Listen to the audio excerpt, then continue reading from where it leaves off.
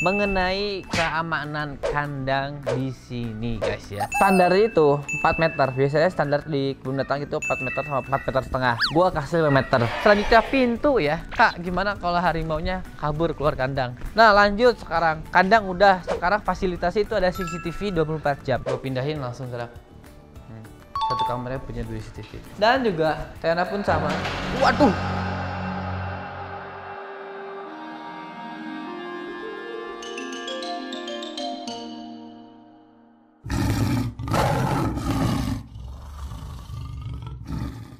Oke, halo teman-teman semua. Apa kabar? Semoga kalian semua selalu dalam keadaan sehat ya. Oke guys, jadi hari ini gue mau bikin konten ya mengenai keamanan kandang di sini guys ya. Karena kan kemarin ada berita hoax ya, ada harimau lepas ya kan. Kalau orang kan pada khawatir ya. Apalagi ada yang bilang juga hoaxnya itu harimau lepasnya di Bandung. Dan juga juga tersebar setiap kota ada di kota ini bilangnya di mana di Sumatera, misalkan di Kalimantan, di Jawa Timur, Jawa Tengah gitu. Banyak lah pokoknya itu. Setiap ada dengan video yang sama ya guys ya. Nah buat memastikan ke teman-teman semua karena kemarin juga banyak banget yang khawatir dan masih apa ya kayak yang kaset bukannya ya gitu. Mereka masih ragu akan keamanan kandang di sini. Makanya gua mau bikin konten tentang keamanan kandang di sini guys. Oke? Jadi yang pertama ini kandang gua punya tinggi itu 5 meter kurang lebih 5 meter vertikal. Setelah itu ada namanya overhang atau enggak pagar yang miring sudutnya 45 derajat sepanjang semeter kalau salah. Nah standar itu 4 meter. Biasanya standar di kebun binatang itu 4 meter sama 4 meter setengah. Gua kasih 5 meter. Lebih setengah meter kan. Lebih bagus. Oke. Okay? Dan juga yang miringnya ini yang miring 45 derajat itu overhang namanya. Itu buat apa kak? Jadi kalau misalkan kucing ya dalam hal ini kan harimau. Nah kalau kalian pernah lihat kucing itu bisa manjat vertikal gitu ya sambil loncat kayak loncat terus manjat-manjat manjat vertikal itu bisa. Tapi kalau misalkan dikasih overhang, itu kucing nggak mungkin loncat terus ke belakang gitu ya kayak Ninja Warrior udah nggak mungkin. Makanya ini yang biar itu buat nahan kalau binatang mau keluar. Karena dia nggak akan bisa ngegantung ke belakang gini ya. Karena mereka bukan megang tapi manjatnya tuh mendorong pagernya biar bukan mendorong apa ya? Menjadikan pagar sebagai pijakan untuk loncat lagi ke atas gitu guys ya. Nah itu pertama. Jadi tinggi tinggi segini jauh di atas standar dan kedalamannya juga untuk besinya itu sangat kuat. Kita cor lagi di bawah. Oke, itu untuk masalah pagar. Nah sekarang kita lihat tanah guys ya. Ini gua tembok ngelilingin kandang itu nggak sembarangan gue udah perhitungkan. Jadi harimau itu biasanya kan kalau jalan di pinggir kandang ini ya paling pinggir ya di temboknya itu ya. Nah itu kalau sering-sering keinjak dan masih alasnya tanah itu akan menjadi padat tanahnya sehingga becek air tidak, meresap dan akan banjir kandangnya. Makanya gue pakai tembok biar kalau ada air tetap mengalir. Terus harimau juga bisa menggali guys ya. Kucing kan kalau pup menggali. Nah kalau kucing gali paling berapa senti ya? Kalau harimau menggali bisa meteran. Sehingga di tiket pagar ini gue kasih tembok biar harimau nggak bisa ngegali gali untuk keluar. Dan kalau misalkan mereka ngegalinya di tanah ya, itu setelah tanah masih ada resapan ke bawah sekitar 2 meter. Itu isinya batu, ijuk, terus juga batu-batu kecil, kerikil. Itu, harimau nggak bisa tembus dalam sehari. Harus berbulan-bulan bahkan. Mungkin mereka juga menyerah. Keburu ketahuan, sedangkan setiap hari di sini ada kiper. Itu untuk preventif kalau mereka ke bawah. Dan juga di bawah juga ada besi lagi. Jadi nggak mungkin kalau untuk urusan manjat dan menggali ke bawah. Terus kalau untuk urusan kekuatan pagernya ini guys ya. Ini pagarnya ini baja. Baja 8 8 mili ya vertikal vertikalnya yang horizontal itu 11 mili dan dijepit gitu.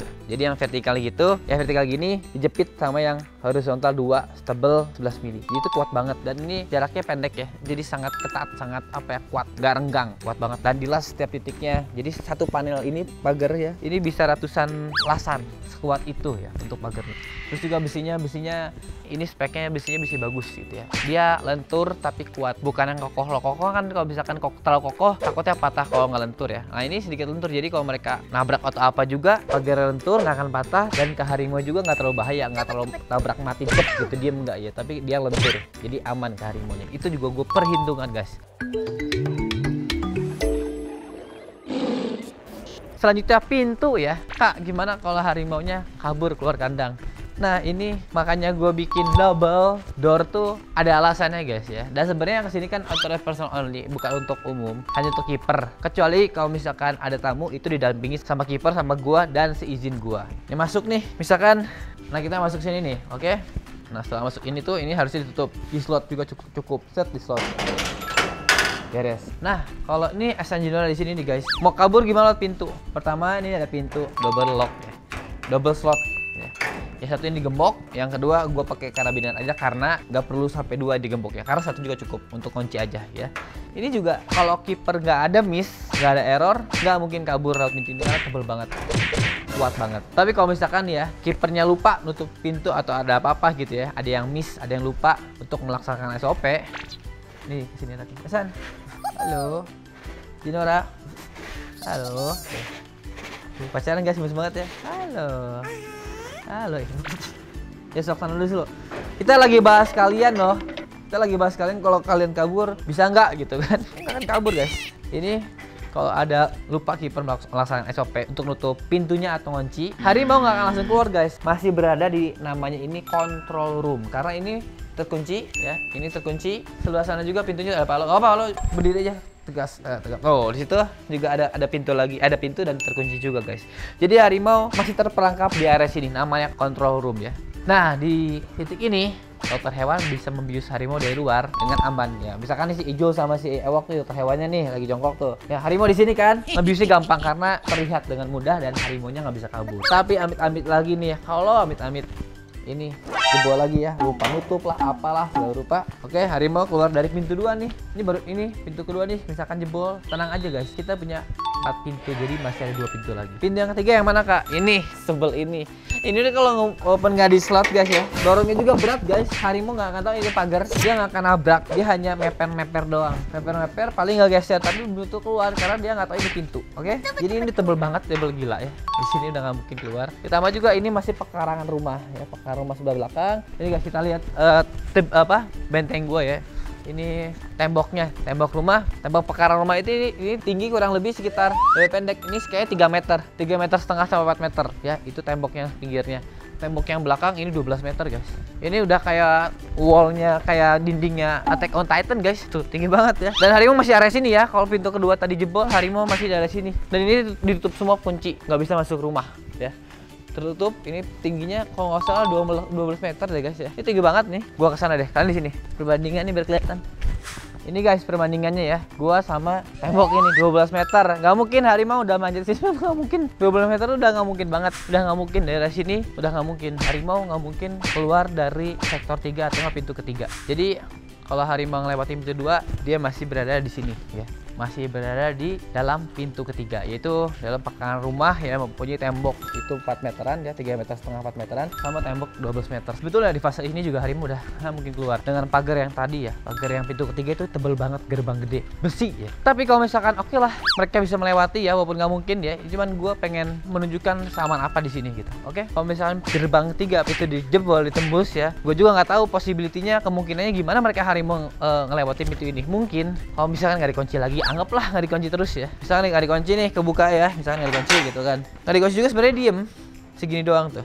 Ada misalkan dorong tahu lah ini pintu dia keluar. Oke okay. mau tembus ngelewatin pintu ketiga. Mereka nggak bisa langsung keluar juga guys. Masih ada pintu keempat. Nah ini areanya depan ini. Ya mereka gua kasarnya daripada keluar rumah kembali rusak daripada orang korban. Jadi mereka pasti di sini dulu makan dulu di sini mungkin ngebunuh juga rusak. Jadi masih di area sini guys ya kalau mereka melewati pintu ketiga. Jadi mereka pasti nyerang dulu burung unta, rusa di sini yang paling gampang dan ini emang harimau benggala. Makanan alaminya juga rusa total India. Ini satu kampung. Ini makanan alaminya harimau. Jadi mereka pasti di sini dulu. Sebetulnya juga dari kalau keluar gerbang pertama ya, pintu pertama juga udah ketahuan udah bisa langsung ditanganin. Apalagi kalau kiper minimal dua kan, tahu gitu. Ngejagainya lebih lebih ketat kalau dua orang. Lanjut, kalau misalkan harimau di sini, misalkan amit-amit di sini di daerah sini mereka masih harus melewati pagar gua di sini ada security-nya. Security juga punya pos apam yang tertutup dengan aman kayak gini guys ya.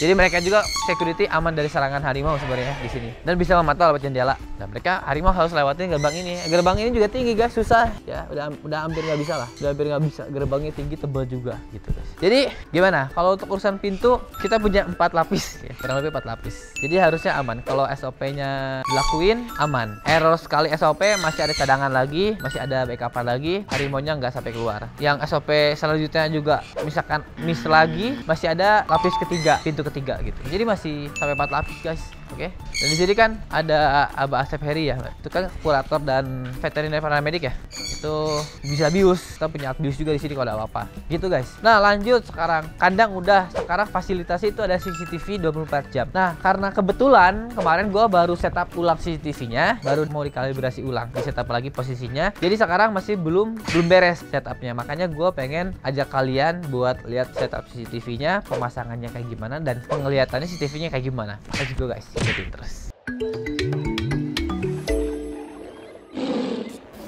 Pertama, CCTV buat di daerah control room kita punya satu di sini.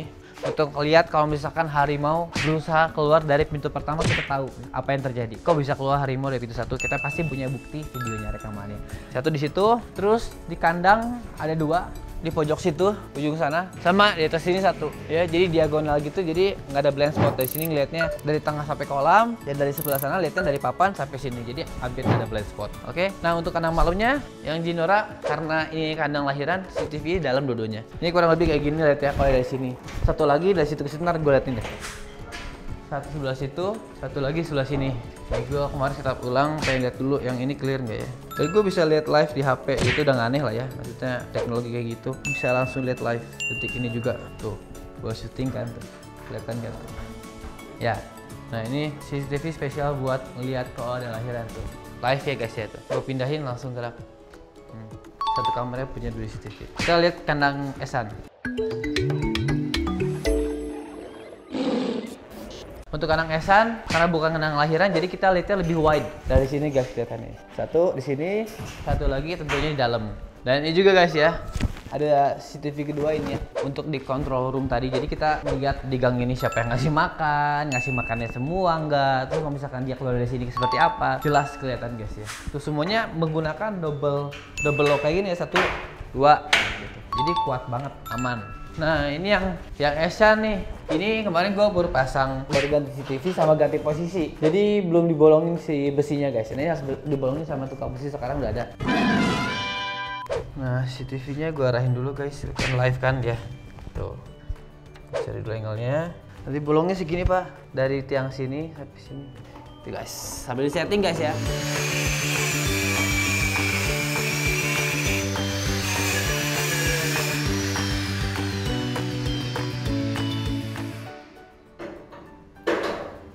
Guys, ini aja ya besi yang cuma untuk menutup pintu sama CCTV ya. Itu kan beda tebalnya sama besi yang di luar tadi. Itu susah banget, awet banget lepasnya. Udah dipotong, ditarik, potong, tarik itu udah susah banget. Apalagi besi yang di luar itu ya, yang tebel dan dijepit gitu. Itu kuat banget guys.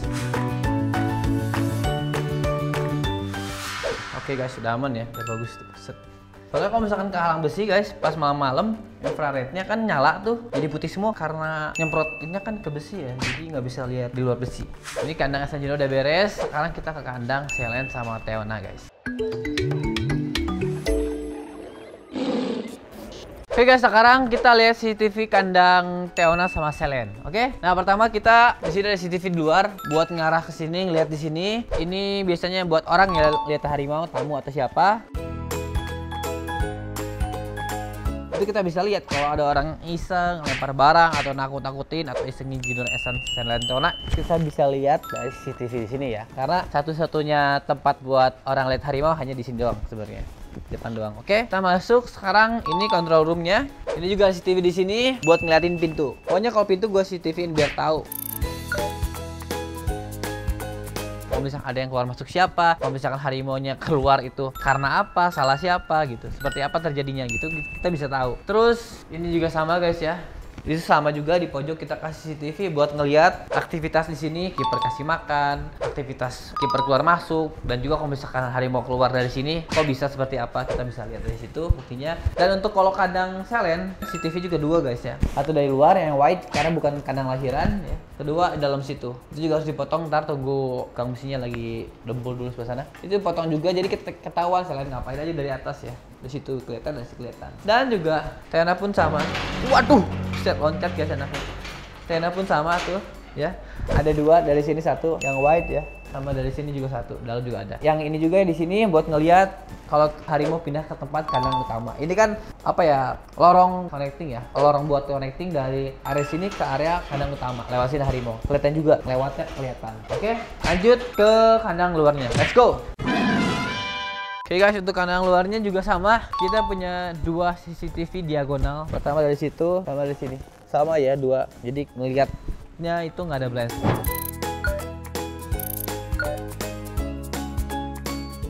Jadi kayak dulu selen ada saya lewat di sini itu tuh kita tahu semua apa yang terjadi gitu. Ada buktinya. Jadi gua nggak nggak akan ngasal jawabannya karena kita punya bukti loh ini yang terjadi gitu. Oke?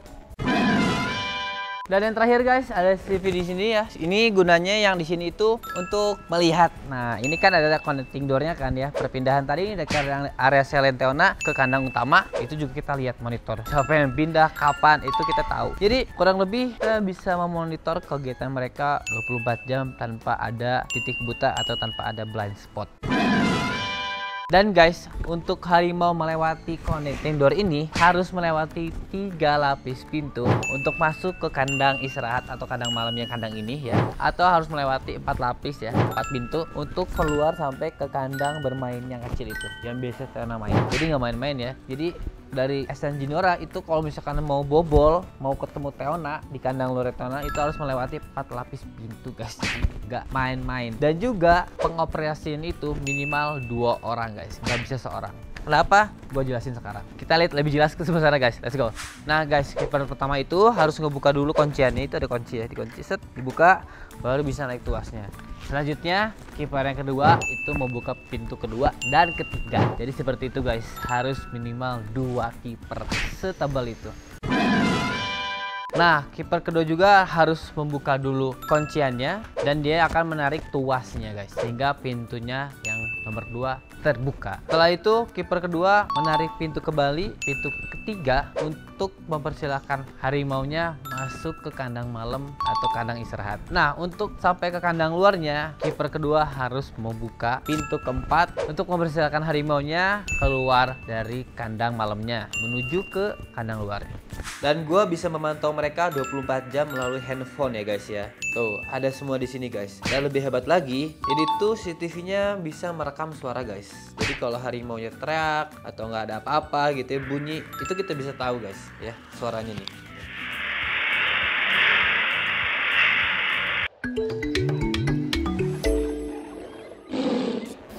Jadi seperti itu guys keamanan kandang harimau di tempat gue. Dan sebetulnya gak cuma harimau yang kandangnya ada CCTV. Kandang elang tuh ya Valkyrie juga ada CCTV. Burung merak, burung unta sama rusa juga ada CCTV-nya guys ya untuk melihat mereka ya demi keamanan. Dan kalau misalkan ada hal-hal yang terjadi kita bisa tahu lah setidaknya apa yang terjadi. Nggak bingung gitu guys. Jadi gimana menurut kalian keamanan kandang di sini? Komen di bawah ya guys ya. Untuk keamanan fisiknya seperti itu, ntar kalau misalkan kalian kepo keamanan biologi atau apa ya biosecurity dibilanginya ya, itu beda lagi guys. Kalau kalian pengen tahu juga, komen di bawah request aja kak bikin konten yang biosecurity penangkaran di sini seperti apa untuk menghindari bakteri, virus dan lain sebagainya. Oke, sampai sini kontennya. Semoga kalian udah paham dan percaya ya atas profesionalisme di penangkaran Bandung Water Oke guys, thank you nonton. Jangan lupa di like, comment, subscribe, dan share dalam bentuk ngedukung channel gue. Dan see you in the next video guys. Bye-bye.